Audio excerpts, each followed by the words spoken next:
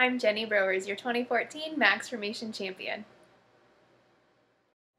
Whether you are days, weeks, months, or years into your journey, there will be times when you are faced with challenges and adversity. There will be times when you feel like giving up. These are my tips for staying motivated and reaching your goals.